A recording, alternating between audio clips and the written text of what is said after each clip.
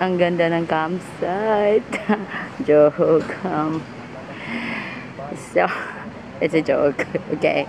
So, we were trying to watch the eclipse, the lunar eclipse, the last lunar eclipse of 2022. Na hindi na gumana yung van. I mean, hindi na nag-start. Ayaw na mag-start ng van. So, naiwan siya dito. I tried to charge the battery, pero ganun pa rin. Uh, ginamitan ko nung ano ko, power station kasi may jumper yon Wala pa rin eh. So, I guess I need to buy a new battery kasi mag 3 years na rin siya. Mag 3 years.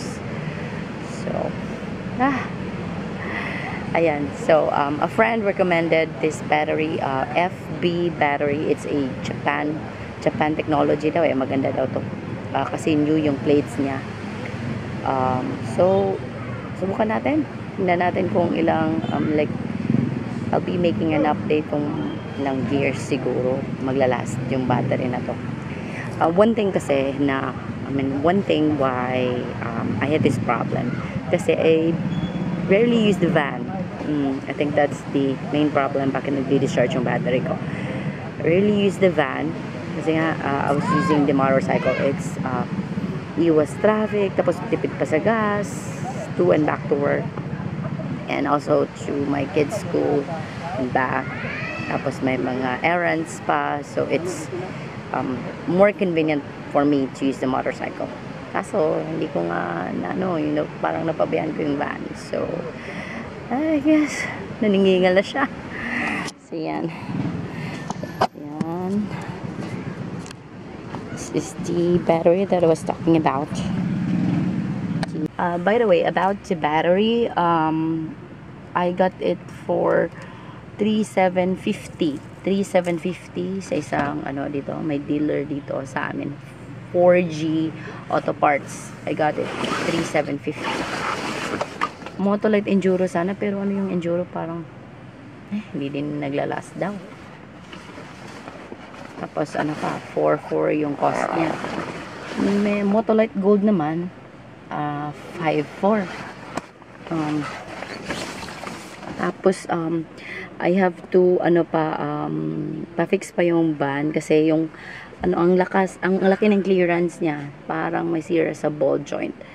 So, I, I preferred na lang the cheaper one. And, sabi naman durable. So, tingnan natin kung mag-start yung van. Hmm?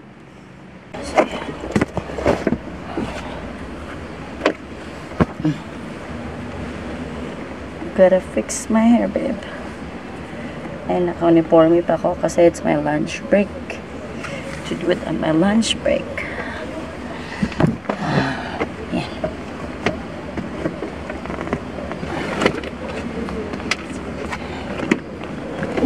Wa, pagod. Kinangla na gid bagong seats. Magpa-upholster bagong seats.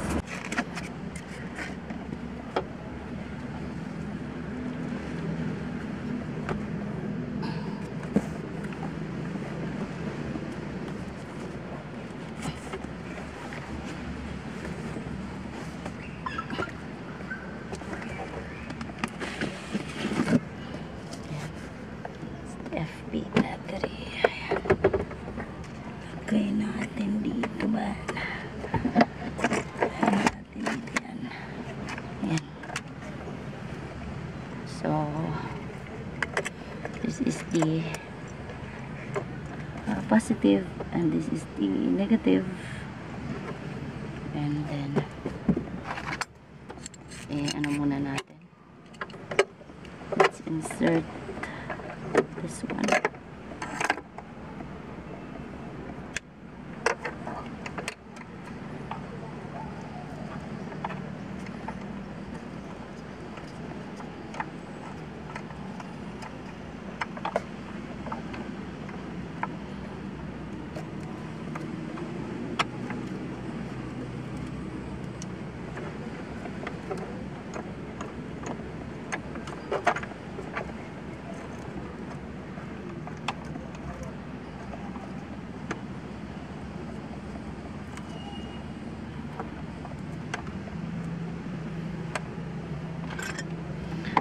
So, I have this um ito 10 na size para dito para pagpahigpit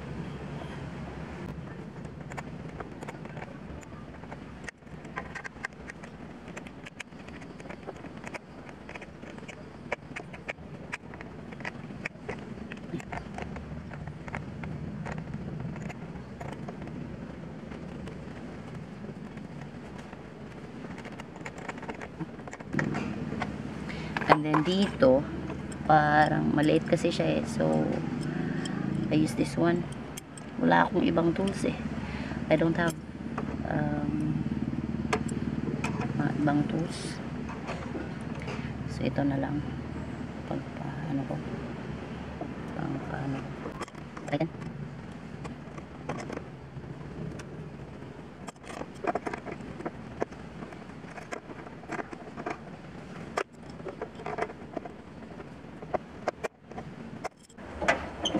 Ayan, so mukhang ready na siya. Start natin. Mm. Ilang araw din to. Oh my gosh. Takot ako. Oh, shit. Lord, sana mana. So, good job. Good job. Gumana, gumana. At saka, pangit ang tunog na, no? Kailangan pa-check. Bili na din ako ng ano, wiper. I got this for 150. Kala ko ang mahal. Kala ko like the entire ano yung ano papalitan. Ano lang pala. Ito lang pala. 150 pesos. So, palitan natin guys.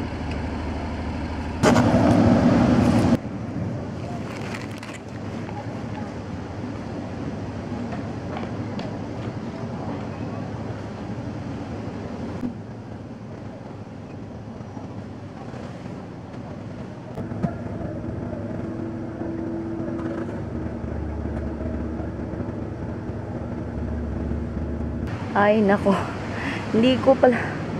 I don't know how to make palit pala. I thought it's so easy. Alright, so, iwan muna natin yung motor doon sa highway. I think I'm gonna left it at Mercury, Bakong. Tapos, balikan ko tonight. Kasi, dalhin ko yung sasakyan doon sa, I mean, I mean, doon sa, I'm, I'm gonna bring the van. Get there. And then, kasi papacheck ko yung ano, yung magpapalit daw ng ball joint. So, yeah. And let's leave the motorcycle. There, balikan natin ito na And then, lakad tayo. Malayo-layo din yun eh. Yung pinarking ko ng van. May mga stores dito. Dito. That's the City Hall. This is the church.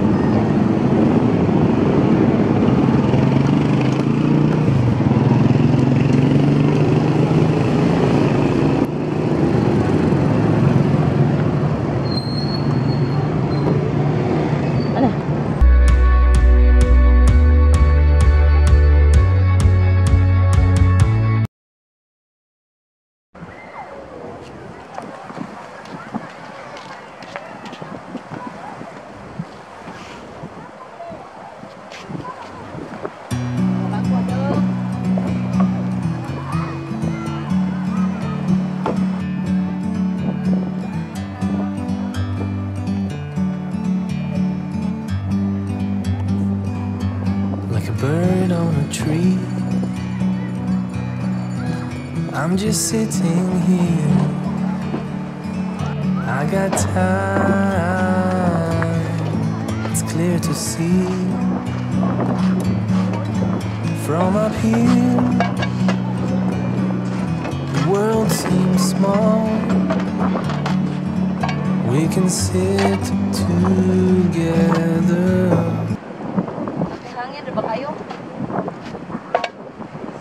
Hangin na ba kayo? So, mahangin today, guys. It's so beautiful, you and me. We meant to be in the great outdoors, forever free.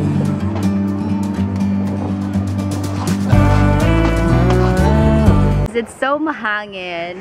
Uh, I decided to put up or set up the stove inside the drawer. Anyway, I'm gonna keep it open so I think hindi safe pa rin siya. Inside here. Kasi mahangin. yeah, ano, gonna take our lunch here. Kasi after um, doing the laundry and cleaning and stuff, I, I think we deserve a break. After also some gar um, fixing my garden, I think we deserve a break. It's a beautiful place. Uh, this is the the the Bakong Boulevard. Uh, you're gonna love the place. Kung taga Bakong ka, it's the perfect place to unwind or just chill. It's a free or public beach. It's not a beach, it's a boulevard, but the beach is there. See, there's the beach. Yeah. Isn't it the perfect spot? And you can see some people nagtitpit dito. And also, camping, day camping. Mag-set up po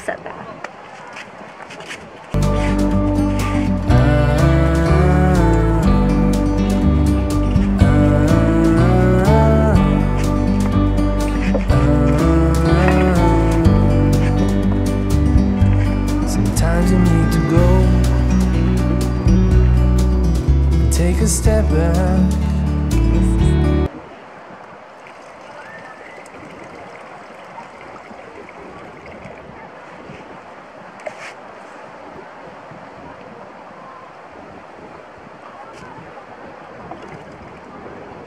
So we bought some siomai, but uh, we don't have the grill with us. So, ipapatong na lang namin siya sa rice.